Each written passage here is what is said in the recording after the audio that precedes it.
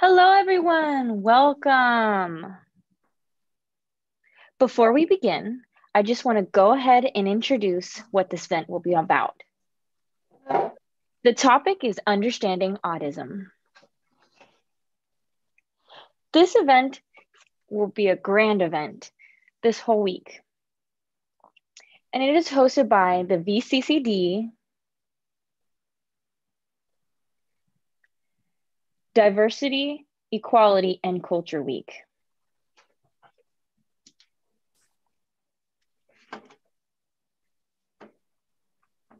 The presenters today will not be me, but they'll be students from the Oxnard College.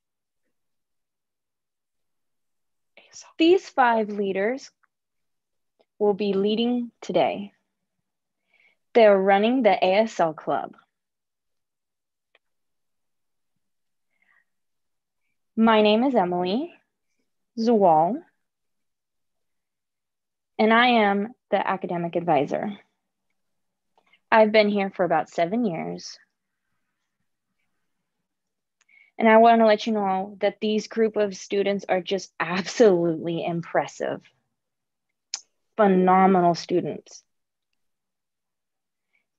They have decided that they wanted to host this event to really teach and inform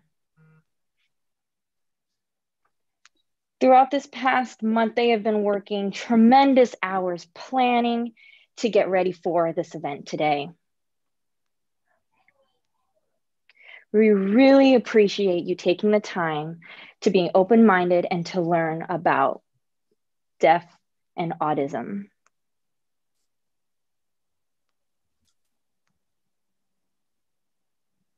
During the presentation, maybe while you're watching and you all of a sudden have a question go ahead and feel free to type in the chat box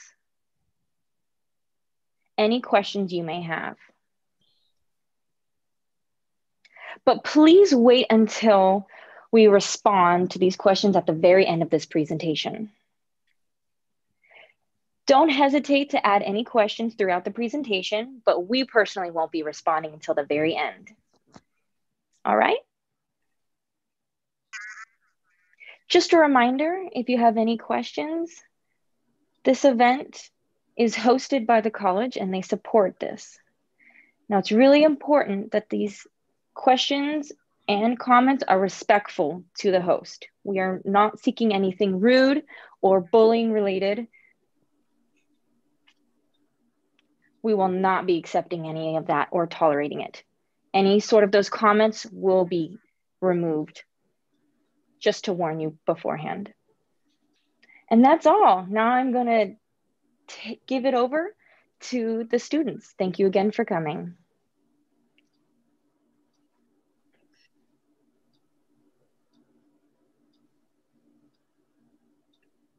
Hi, my name is Monica.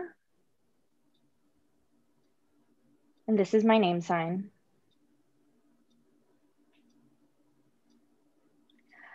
I am the president of the ASL Club.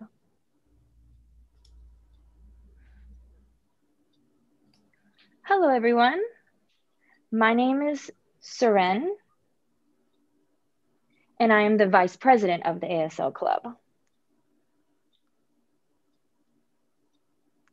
Hello, my name is Sierra, and I am the secretary for the ASL Club.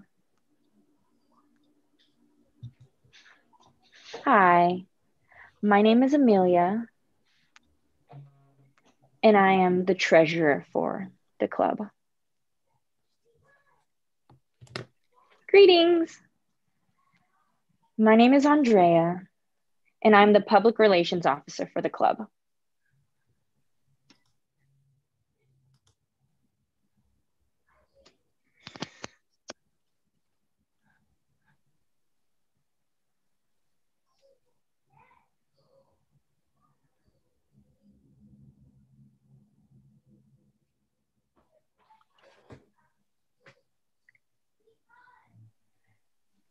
Now, first, we would like to start off by saying thank you so much for coming to our event today. It's absolutely an important event, and we just want to show you on this topic of understanding audism. Understanding audism and the effects that it has on community, as well as learning about the deaf community. But before that, before we start our presentation, we want to have an important announcement.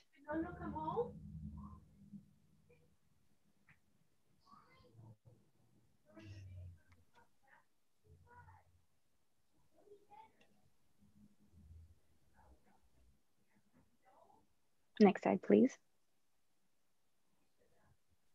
Now, we would like to take a moment to recognize Indigenous people.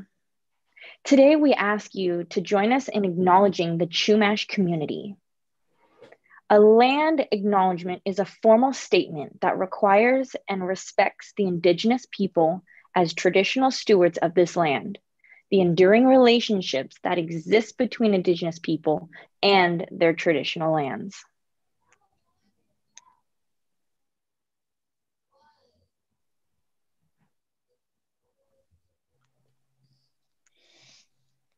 Before we completely jump into this presentation, we feel that it's absolutely important to share that we want to focus on deaf culture, ASL, audism, but also that deaf and hard of, hard of hearing people have high diverse experiment experiences, views, language use, identity, and may or may not identify as culturally deaf. Now, the difference between a capital D in deaf and a lowercase d in deaf are that capital D, deaf, people identify as culturally deaf. However, deaf with a lowercase refers to the physical condition of hearing loss.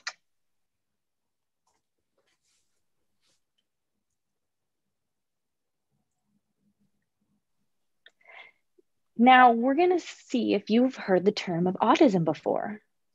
Have you heard of that? If not, raise your hand. We're just curious how many haven't heard of it. Answer the poll. Please answer the poll.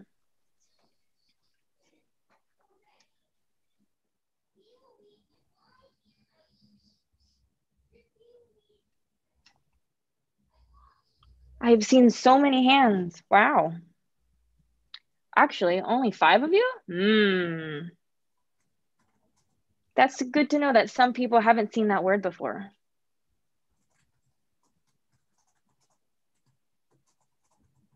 Now, the word audism is defined as discrimination or prejudice against individuals who are deaf or hard of hearing.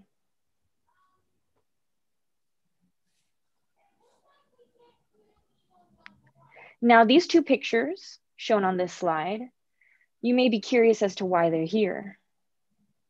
Now, the first picture is the hand saying, covering the words, I can't hear you when you cover your mouth. Because deaf people can't see facial expression when you have your hand covered. The second picture is I can't hear you if you don't face me, because typically the deaf culture always prefer eye contact.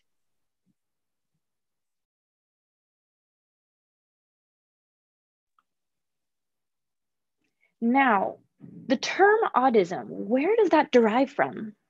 You know, if you look in via Google or on books, you find that the term audism was invented by Thomas Humphries in the year 1975.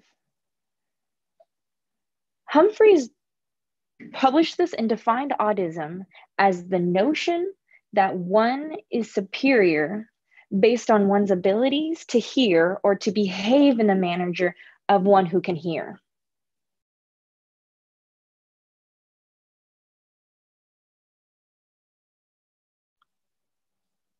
Some examples of audism include number one, setting up a room or lighting. If you don't quite understand what that means, well, typically classrooms are set up in rows of chairs where it's hard to look at each other. Deaf people can't sign in that form. So they prefer in a U shape and lighting that are that is natural to communicate easier. Another example of audism would be not having accessibility to services. And if you're considering or wondering what access that means, for example, a lawyer or any place that refuses to provide whatever you need, for example, interpreters to communication, a location that refuses that, that's an example of audism. Number three, the quote, I'll tell you later during spoken conversations. Typically, hearing people are in a conversation, you know, they're joking around, laughing, but a deaf person may have missed it. So they ask, hey, what it, tell me, what did they say? What, what is the conversation about? And hearing people often just push them aside and say, oh, I'll tell you later, it's not important. That is another form of audism.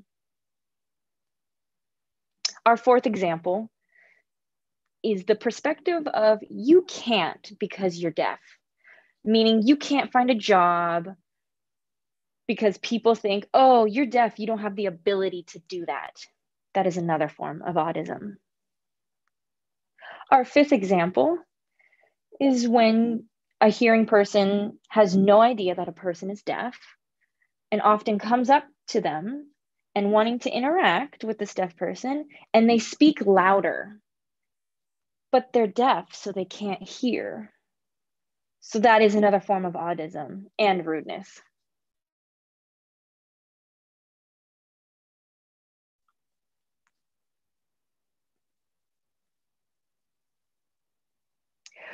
Here's an example of what deaf space looks like, so please enjoy this short little clip.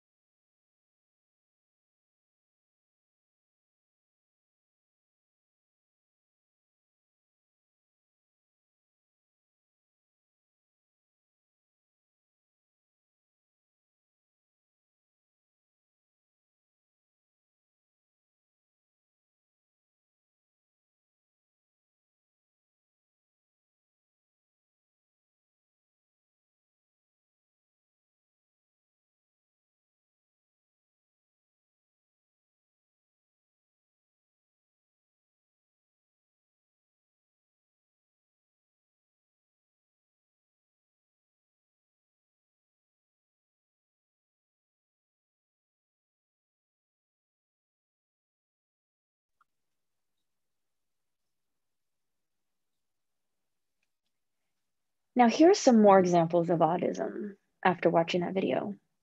Number six is that thinking that deaf people or deafness needs to be cured with hearing devices or surgeries. That's absolutely impossible. Number seven is that assuming all deaf people should be able to lip read. But some people prefer just to communicate through ASL, whereas others do lip read. It depends on the person. Now, number eight, hearing people making decisions for deaf people's health or education without really knowing or asking for their approval. And lastly, is closed captioning not always being descriptive or accurate? Those are all forms of audism.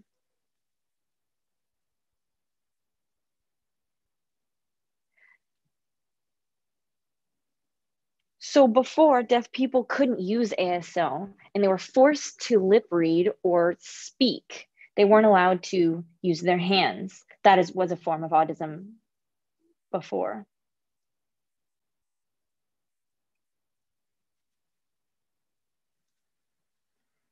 We have another video of five signs of audism that we would like to show for you as well, so you see more examples.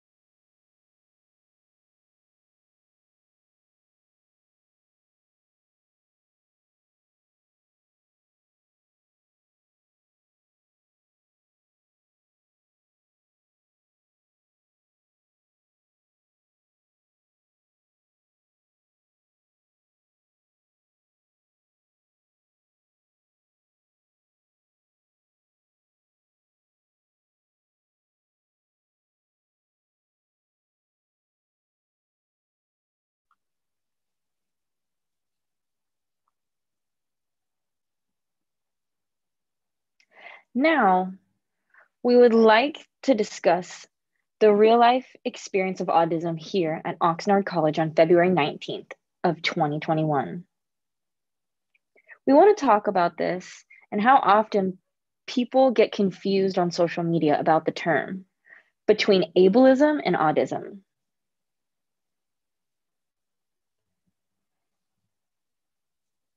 If you've never seen that word before, ableism, or have heard it as some people haven't with audism, we're going to explain it within the next slide. Now you see both sections of ableism and audism. Now, audism, as mentioned, is discriminatory against people who are deaf and hard of hearing. Whereas ableism, that is defined as discrimination or prejudice against individuals with disabilities. That's the difference between the two.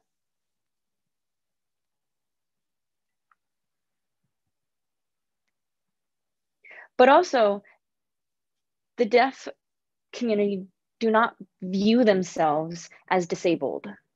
They view themselves as capable of being able to do anything that they want, achieve their goals, they just can't do it without hearing. That's the only thing.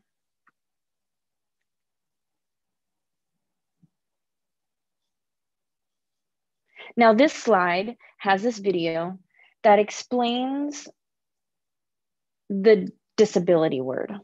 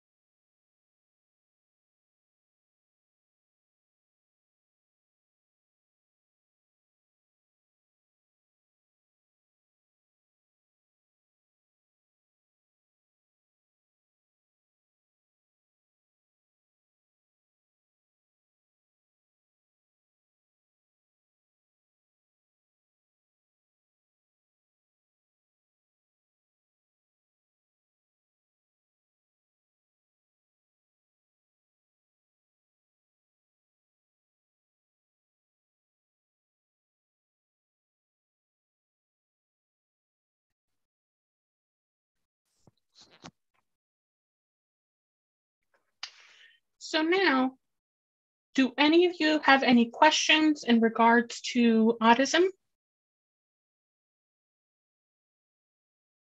Questions or comments, please feel free to type them in.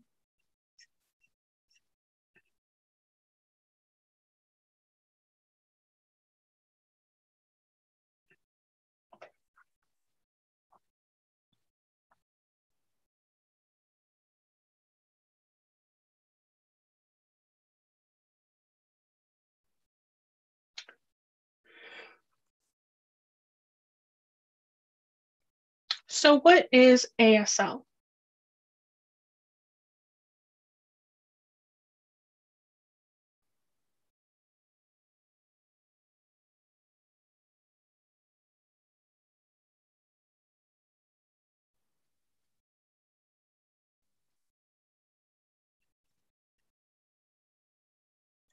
I'm going to go ahead and wait for more of you to answer the poll. Please make sure to make your best guess.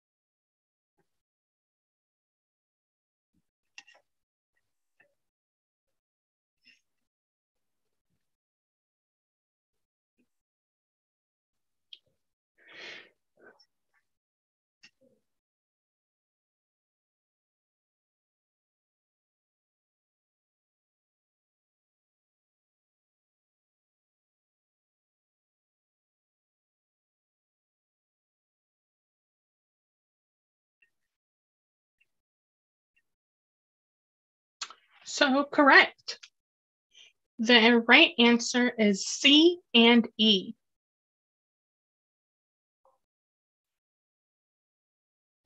ASL, American Sign Language, uses the hands and the face to convey grammar.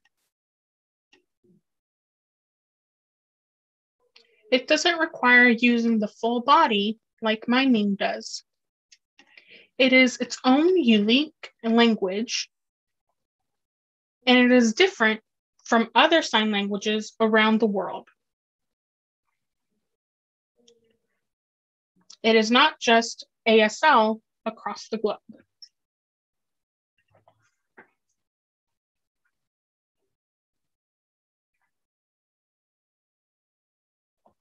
And please read this comic strip that shows the difference between English and American Sign Language.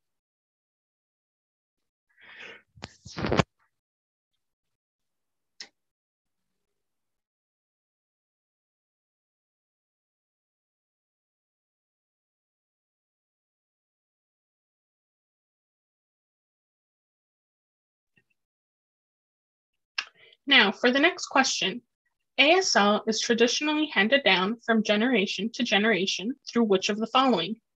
Go ahead and reply to the poll.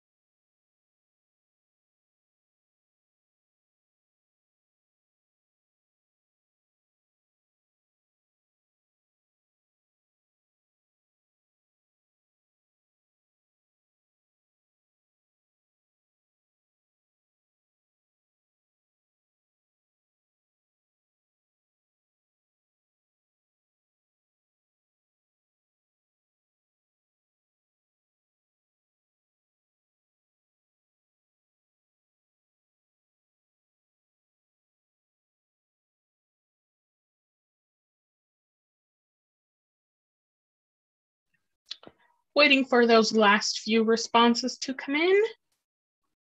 We're almost there.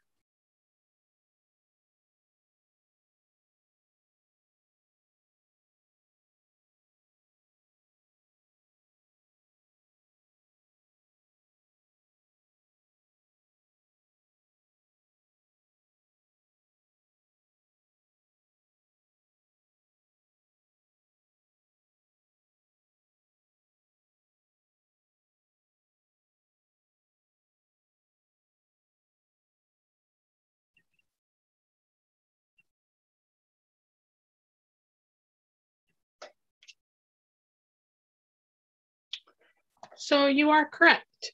A and C.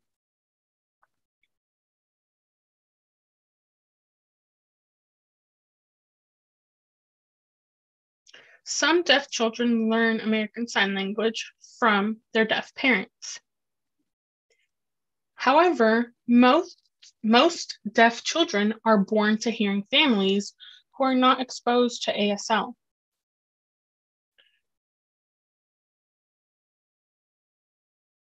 So for those students, for those children, they learn when they go to a, a residential school for the deaf.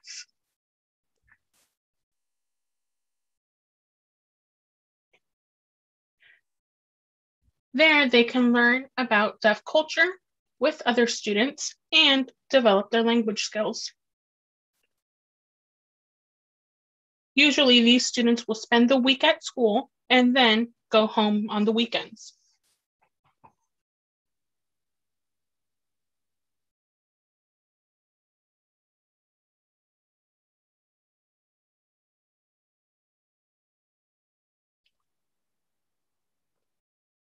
ASL uses facial expressions, head movement, and eye gaze primarily for which of these options?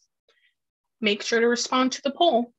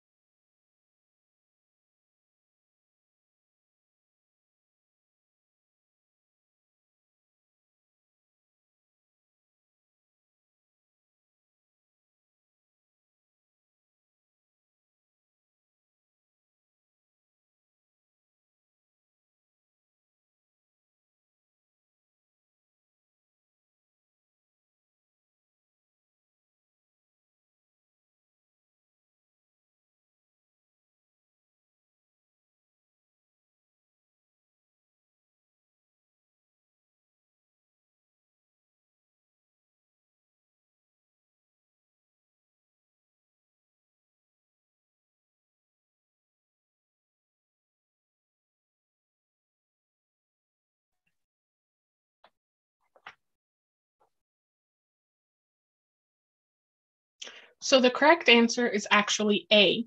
They are used for grammatical purposes. Facial expressions, head movement, and eye gaze help show the grammar within American Sign Language. They show if you're asking a question when you raise your eyebrows, or they can show if you're asking a yes or no question with a different type of movement. This can affect how a question is answered.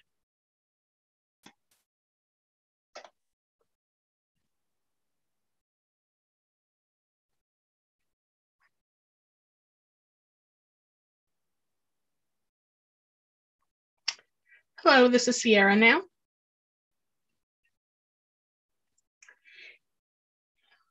While you're watching a person sign, where is it appropriate to focus your vision? Please answer the poll.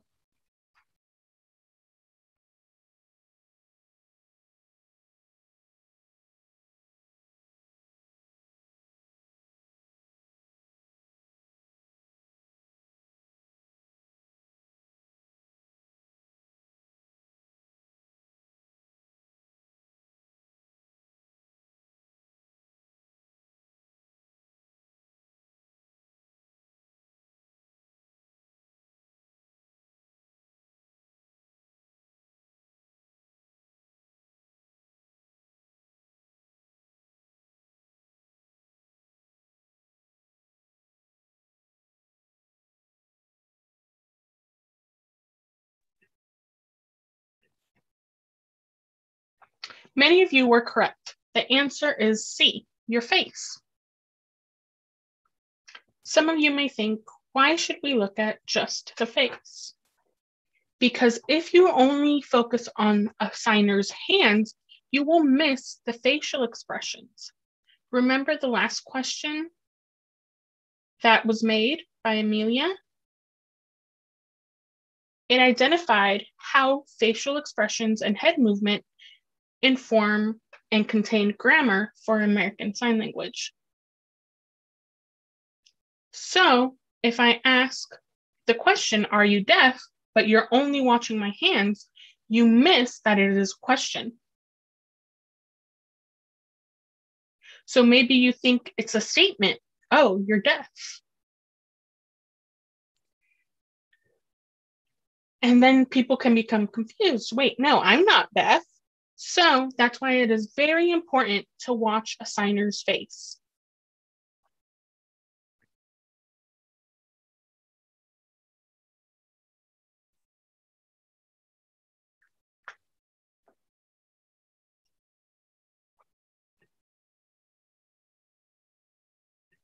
You, some of you might wonder, how can I get a deaf person, deaf or hard of hearing person's attention? Please go ahead and answer the poll.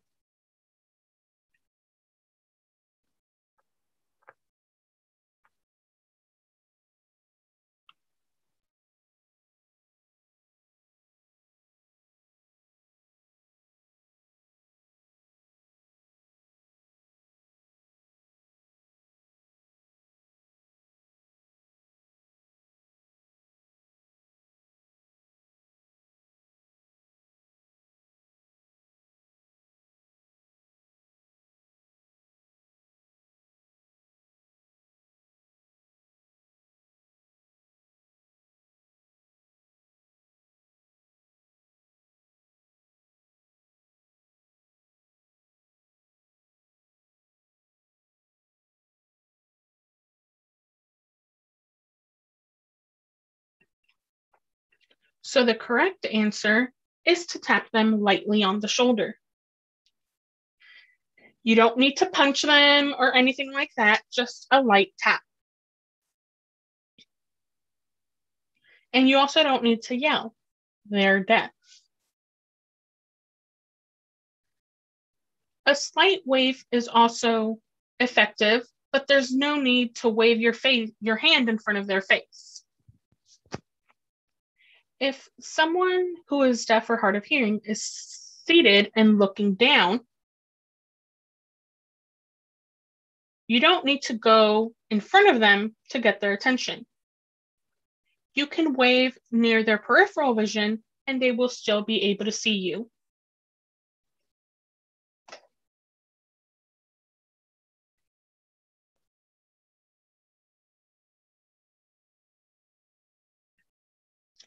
Here are some pictures that show things that hearing people should or should not do.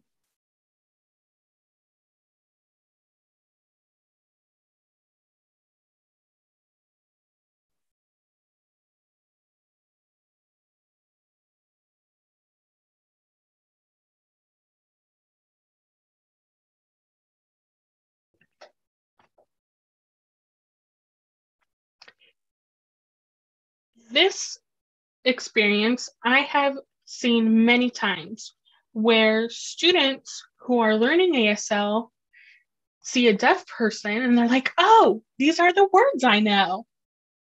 And the deaf person is typically confused because they're not your teacher.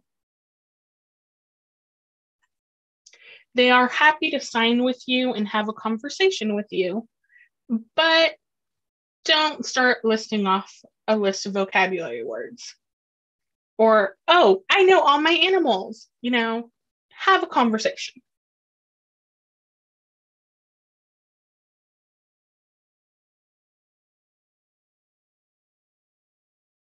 Now, if you're walking along and you see two signers, but you want to go past them, how can you do that effectively? I'll wait for you all to answer the poll.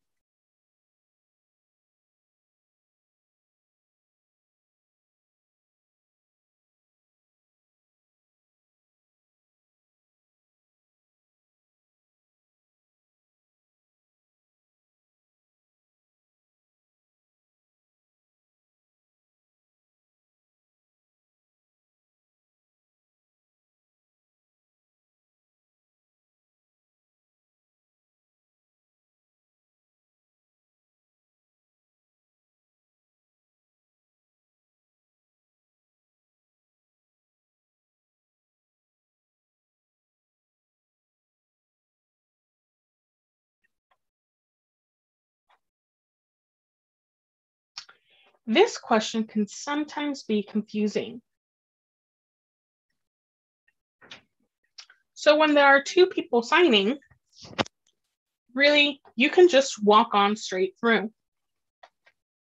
I have seen some of you have answered that you should just crouch down and kind of go through that way, but it's really not needed. The people who are having a signed conversation are focused on each other. And by you crouching down and going through them, it causes more of a distraction. They will think, oh, why is this person acting kind of weird? You know? Also, if you're just waiting for them to finish their conversation, you know, that will distract them as well. Are you waiting to ask them a question or something else? So the best thing is to just just walk on straight through. You don't need to go around them. You don't need to crouch down or anything. Just walk on straight through.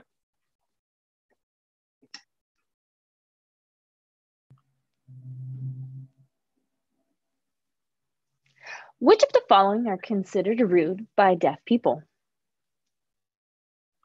Please pick your selection in the poll.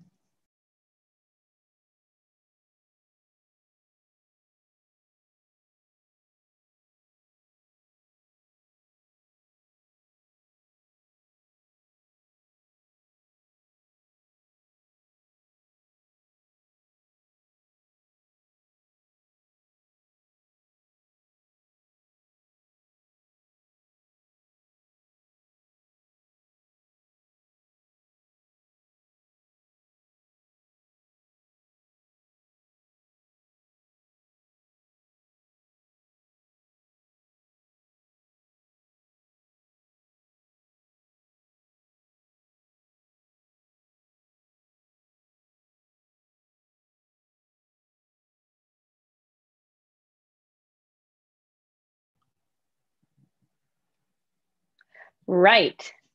B, watching a signed con- conversation. And D, using mm-hmm. or talking in the presence of a deaf person. During a signed conversation, it's happened several times, many, many times. It's normal to push aside a deaf person ever so gently when passing by because it's not considered rude. But watching a conversation while two people are signing is very rude.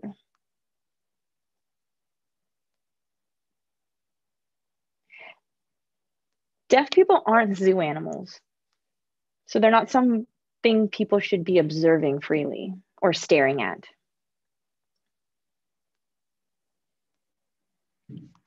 If you decide to speak or converse with them, well, well, my, my, my, don't do that.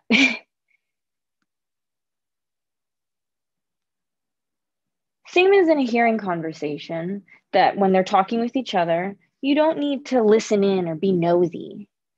Eavesdropping is rude. It's the same concept with deaf people. Now, D, talking or, or using your voice in the presence of deaf people, that's rude as well don't use your voice. Why specifically?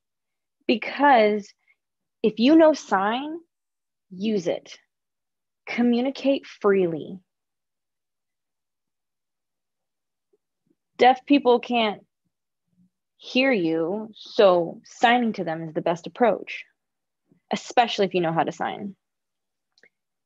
For example, you're in a classroom and a, people are talking, you know, so they're speaking Spanish in this example. And you're thinking to yourself, I don't know Spanish. But they're speaking it. They're speaking both Spanish and English. So if you can do that, then involve yourself.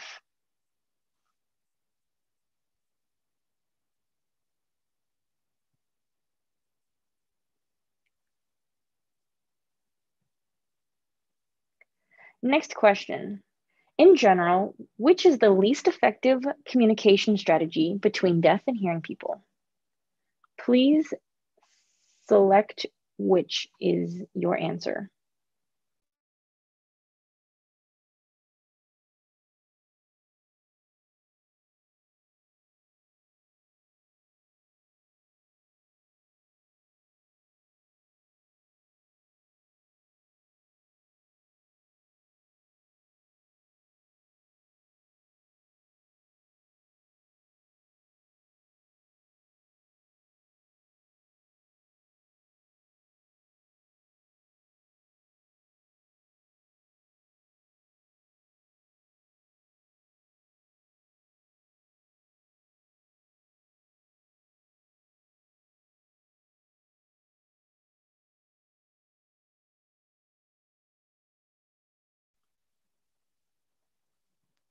The correct answer is A, speech and lip reading. Speech and lip reading is very difficult. Often deaf people miss and it's not clear what they've missed. The best way would be using ASL, of course. Signing fluently is one of the better approach. And now deaf people are willing to help teach, especially if you're a student. Really, that's the best way.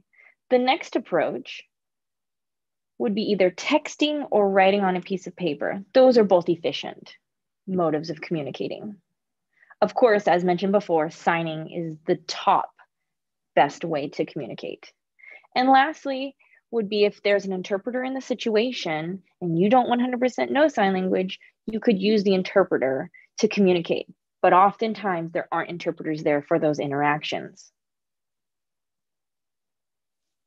And with having an interpreter, having that triangle of communication to communicate with a deaf person is often time consuming and it's not direct communication.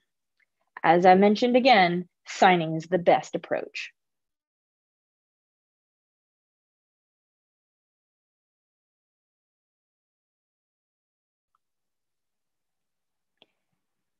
Now, a few things to discuss about the deaf community.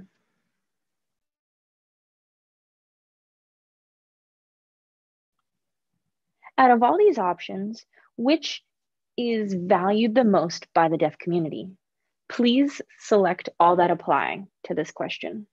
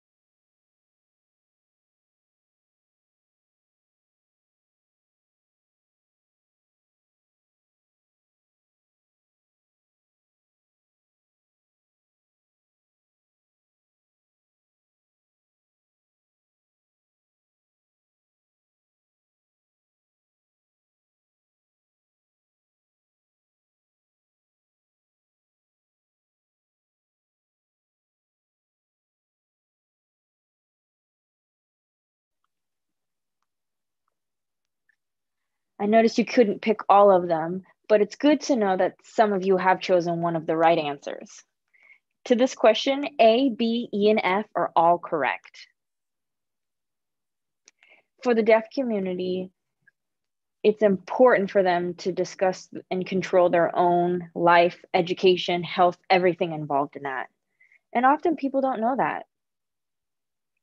They think everyone has the same experience, but that's not true really it's important for deaf people to be able to control that aspect of their lives. As anyone would. The next answer would be b. Being informed is very important. Having create community members and being in, in contact with them is something they value too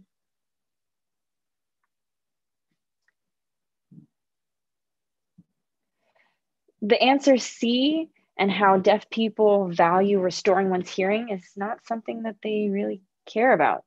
So that one would be a wrong one. Same with D. Again, they don't need that. They can communicate without being able to speak.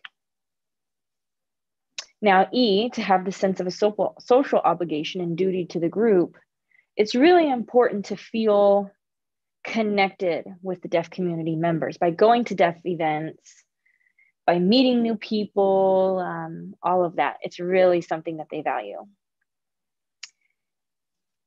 Again, F, being develop long term relationships in the deaf community is something they really 100% value. If you go to a deaf event and someone comes up to you and said, Oh, who are you? Do you know so and so? They want to know those connections because the deaf community is so small, everyone tends to know everybody. So that's where the, those connections come to play in conversations. And the last one to be self reliant. The deaf community really care as a whole. They're a very collectivist community and they value everyone who are in it.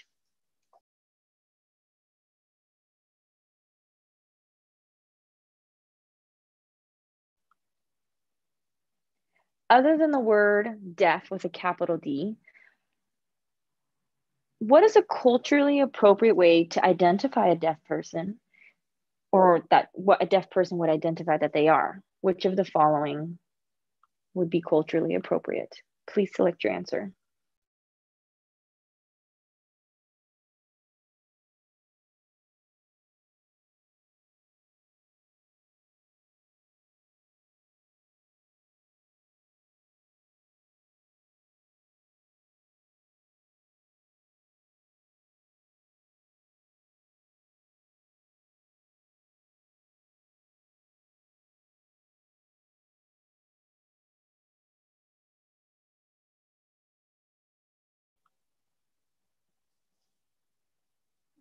Actually, none of them are right. The only one is F. None of the above. Most people would say D for deaf and hard of hearing, and I just want to hold that hold that comment just for a second. Letter A is really rude. Deaf people aren't dumb and they're not stupid. That's it. They're none of that sort. So those would not be appropriate.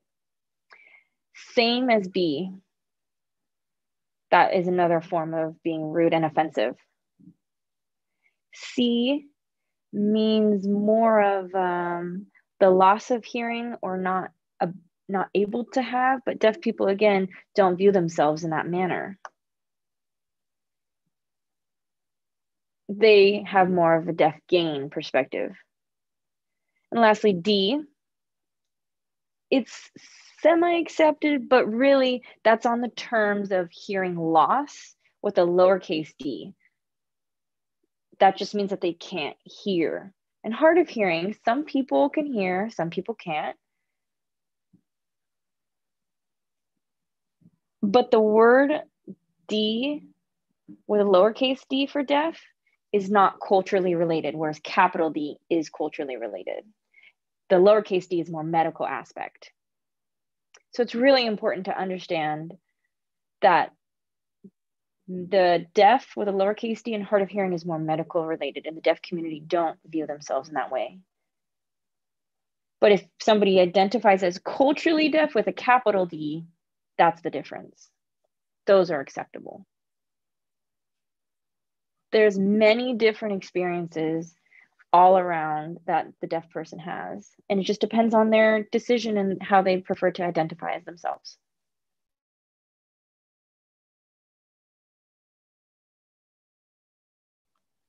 Any questions that you may have? Some of you I see may have already been answered. Let me look here.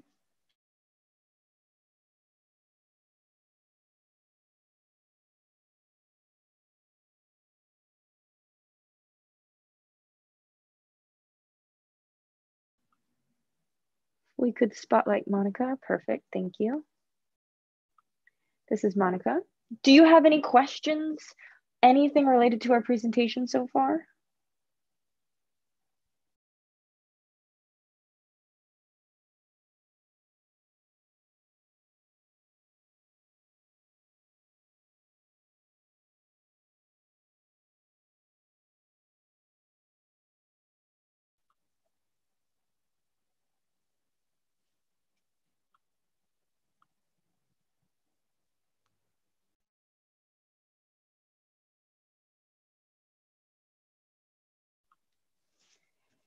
In a classroom, typically what I struggle with is having the interpreter and when I have to balance my time with looking at the board and the interpreter at the same time. That is something I struggle with during classroom settings.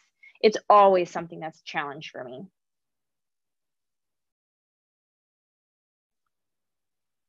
What's important really is that Monica is is the only deaf and hard of hearing person here.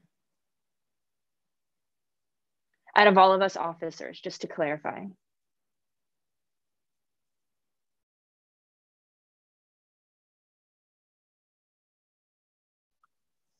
Serene says, someone is saying that for jobs,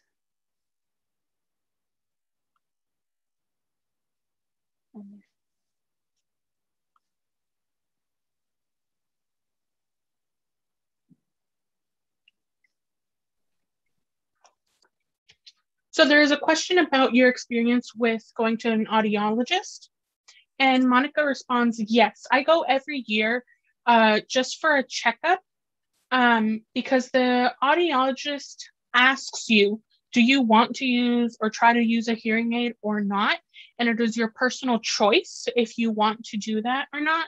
Um, growing up, and still, I go once a year just for a general checkup to make sure everything is okay but I personally decide to go um, without. Serene says the next question Can a hard of hearing person identify themselves as deaf? Monica responds Yes, many hard of hearing people often identify as deaf because they are part of our community and they can identify as such because of the shared experiences.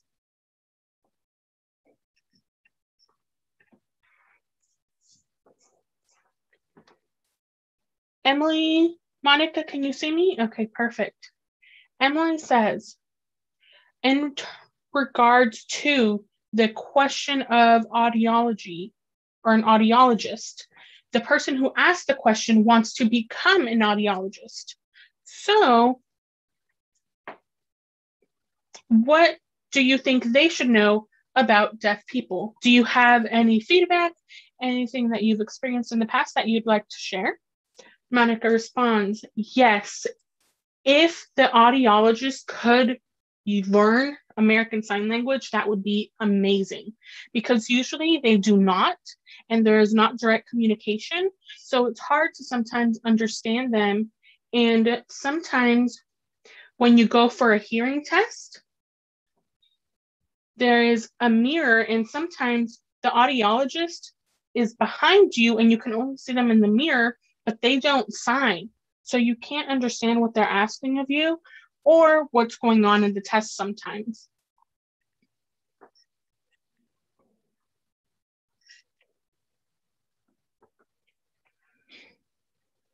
Is that it for the questions or do we have any more? Let me take a look here.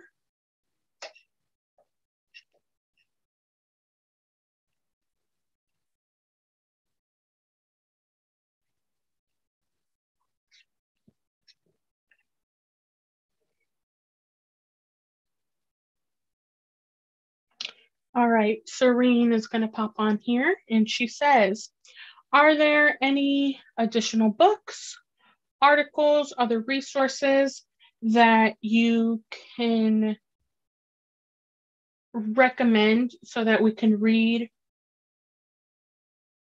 about in order to understand more about the culture and in order to understand the experiences of the deaf community and better support them?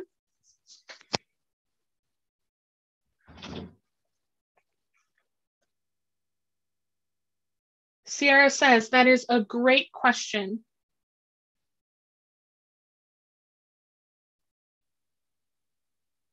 Emily has a great list of those uh, books and resources uh, that we can make available to you.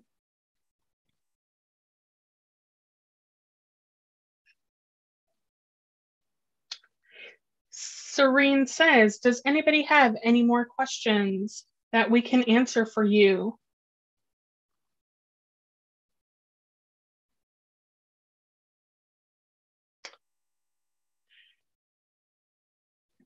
Serene says there's a question about what can the college campuses do in order to improve your learning experience and make it more enjoyable for you, Monica? Monica is asking for clarification. Is it for deaf students or hard of hearing students or in general for everyone? Serene says, in perspective, in the perspective of deaf and hard of hearing students in order to make it a more accessible environment. Monica says, um, it is important to make sure that you provide the appropriate services whenever we make an appointment with health services, counseling services, financial aid, or anything like that. Um, and it's important to have people that we can trust and that the people that we're meeting with do not make us feel disheartened or as though we are less.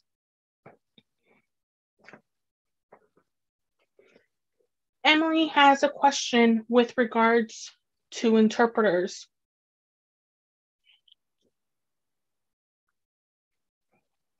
Within the classroom, what is important for teachers to know when working with an interpreter? Monica responds, usually there's already an interpreter there when we arrive to the classroom and they are informed ahead of time. And so it's important for them to know what services they need to provide, such as closed captioning on videos and other um, services that are also on campus. But the most important thing of all is communication and communicating about their services with us. Emily responds, so if the teacher wants to ask you something directly, should they look at the interpreter or should they look at you? Monica says, yes, a lot of people often confuse that. Do we look at the interpreter? Do we look at the deaf person? It's better to look at the deaf person directly because you're having a conversation with them, you know? So it's better to have that direct eye gaze in order to be um, more conversational.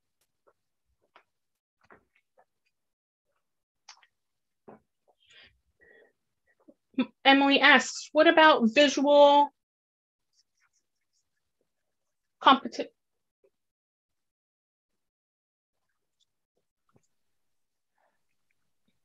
For example, if I'm sitting in a classroom and I'm looking at the board and I'm putting down all my notes and I'm equally distracted with trying to look at the interpreter and look at the presentation, it becomes a competition between where my perspective of should I pay attention to the interpreter, should I pay attention to what's being discussed on the board?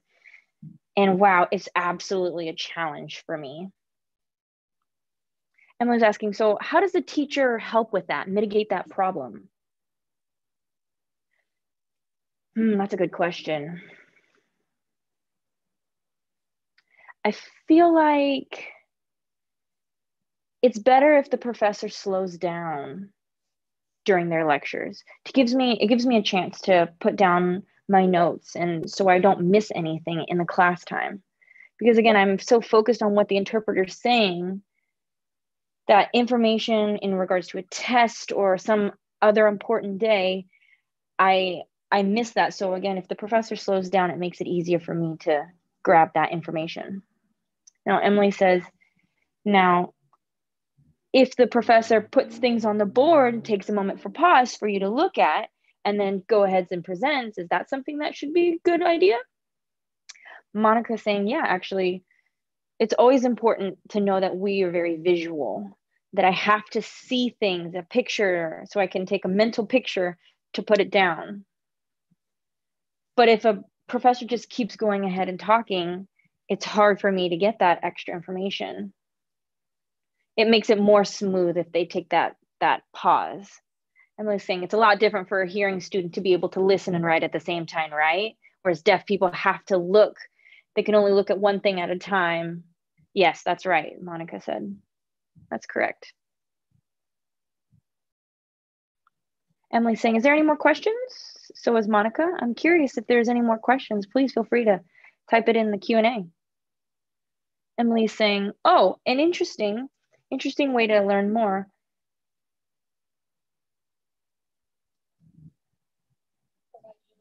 Please um, provide me your email address. We'll put it in the chat and I don't mind. I'm happy to help send you some more resources for different things to look into about deaf culture or ASL. I'm more than willing to do that. Monica saying, all right, we'll go on to the next slide now, please.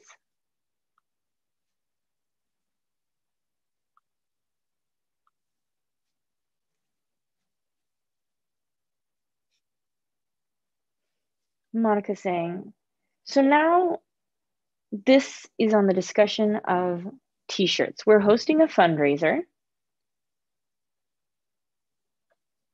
And all this money will be donated to Greater Los Angeles Agency on Deafness. And this funding, the proceeds will be going to fund back the deaf community. If you're Serene saying, if you're interested you want to buy it, you can read and click on the link for more information. But we only have two options. The first is that you can pay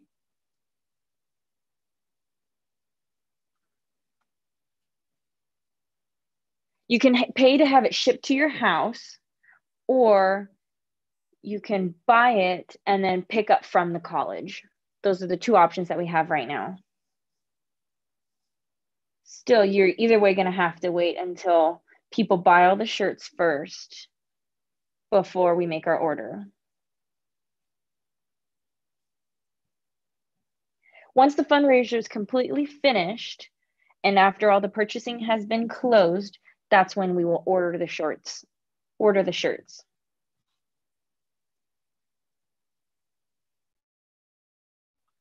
Monica's saying, now we're going to go on to the next slide.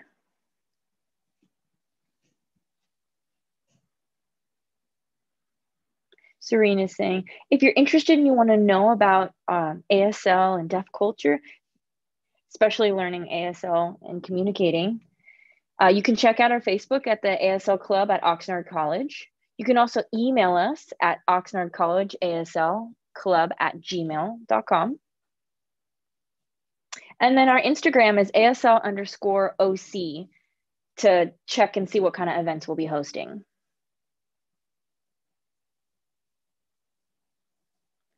And any of these options are opportunities for you to communicate with us.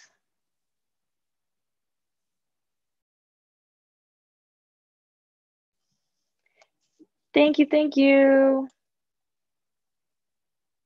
Monica saying, thank you again so much for joining us today. It is absolutely important and so wonderful for us to be able to have these off us officers work so many long hours and be able to educate you all today, especially about deaf culture and everything involved. We're very happy that we could provide this opportunity for you. So again, thank you so much for being here and watching our presentation. Thank you, everybody saying thank you, thank you. Thank you all. Have a great night.